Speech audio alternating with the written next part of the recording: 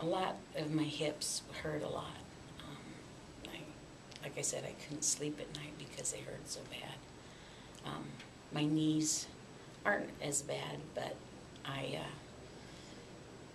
had pain there, and it's easier to do stairs now between your adjusting us and, not as many neck aches and headaches. I know my, especially my husband suffered with headaches a lot, and he doesn't hardly ever get them. And then if he does, I call you, and he comes in, and he's fine.